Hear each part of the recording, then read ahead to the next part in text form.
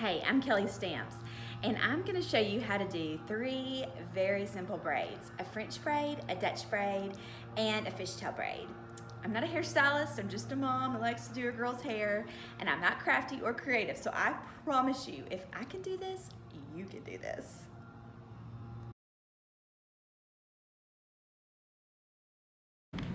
Okay, first I'm gonna show you just a regular French braid. So what you wanna do is you wanna get a little section of hair at the beginning of their, closest to their forehead, and you're going to divide it into three sections. One, two, three. So what you're going to do is you're going to start on the right or the left, it doesn't matter, and you're going to cross over the middle. And so that the middle piece, you're going to pull it over and it's going to become the right. Then you're going to take the left, cross over the middle, so that the middle piece moves over to the left. The next you're going to do is grab a little bit more hair with your right, cross over the middle. The middle now becomes the right. Take a little more hair from the left, pick it up with the strand you already had, cross over the middle. The middle becomes the left.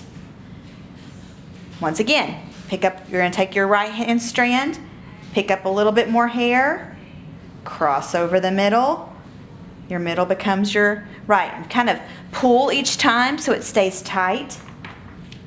Pick up another strand of your left, cross over the middle. So the middle comes over to the left. And so that's what you're going to do. You're just going to keep on picking up a little more hair, crossing it over. Pick up a little more hair on the left, cross over the middle. So you're just going to continue to cross over the middle all the way down Pick up a little more until you've picked it all up.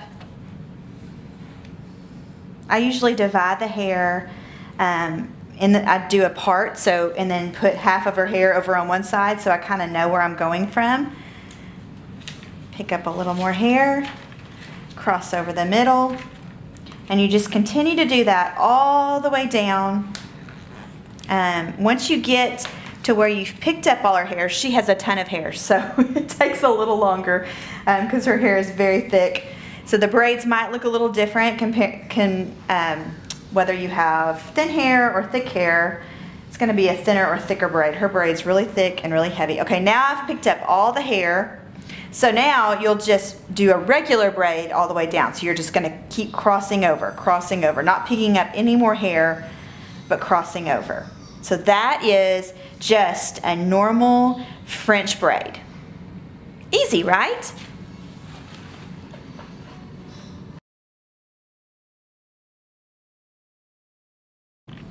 Now we're going to do a Dutch braid, or what is the braid on the outside. So this is very similar to a French braid, only you're going to take the front section, so it starts off very similar. You're going to divide it into three pieces. Instead of crossing over the middle, you're going to cross under the middle. So you cross under the middle, this become, the middle becomes the right.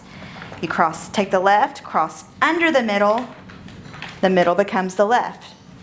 Pick up some more hair and cross under the middle, the middle becomes the right. Pick up a little more hair with the left and cross under the middle, the middle becomes the left. Pick up a little more hair and you're going to cross under the middle. Pick up a little more hair and cross under the middle. So you're just you're just weaving under, weaving under. Pick up more hair, go under the middle. You can see it's starting to form and it's puffy. Taking some more hair and crossing under the middle. Got a little, oops. And you want to pull it tightly so it'll stay put during school and PE and recess, soccer, whatever we've got going. Otherwise, my girls come to the car and their hair's pulled down halfway through the day after all this work I do. So you're just going to continue to cross under, cross pick up, cross under, pick up, cross under. I call this the Dutch braid. That's what I've always heard it referred to. You you may have heard under other things. Um, This is one I've just learned to do, but I love how it looks. So kind of the same thoughts, except on this one, you're gonna keep braiding, but you're gonna cross under. So where you would normally braid the other way, you're crossing under and kind of weaving your way all the way down.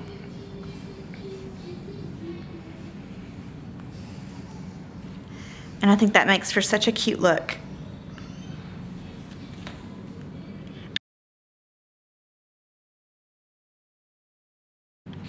The last braid is a fishtail braid.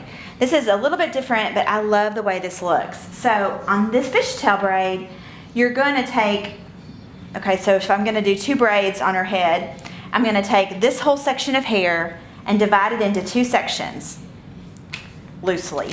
So like this. So what you'll do is you'll take the you'll take a little section from the front and you bring it over here to this section right here. This one is hard because you really have to hold tight to it um, to get a tight braid. Otherwise it gets pretty loose. So then I'm going to take a section from over on this section, so the far left, and I'm going to bring it over here to this section. This braid is really hard getting it started, but once you get it started, it goes pretty easy.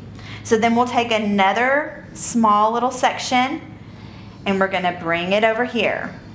Where with a normal braid, you have three sections of hair. You're only working with two sections on the fishtail.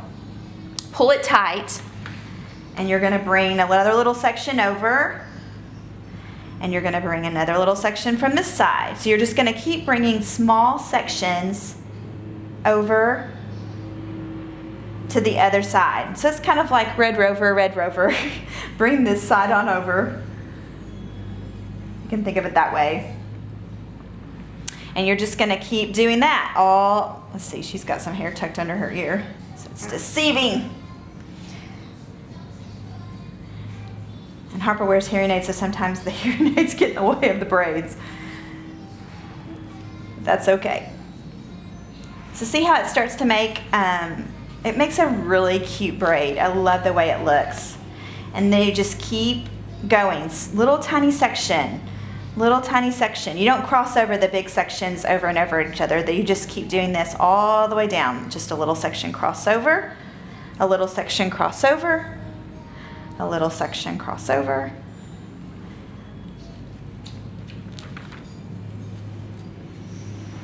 See, it makes for such a cute braid. I love the way it comes on this side of her face and then the way it looks on the way down. And that is the fishtail braid.